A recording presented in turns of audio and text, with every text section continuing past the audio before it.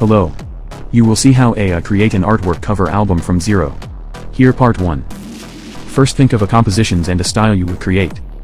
Then find a bunch of image that can match each other's like perspective, lights and angle. There are several ways to outline an image. Either with the color selection, the quick selection tool, or with a pen. It's up to you to choose the most suitable method according to your element.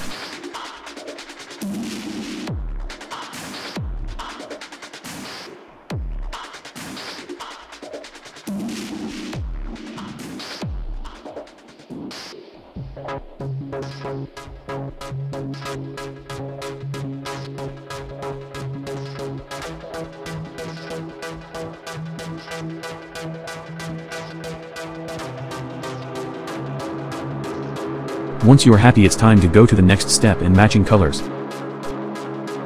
See you in the next part.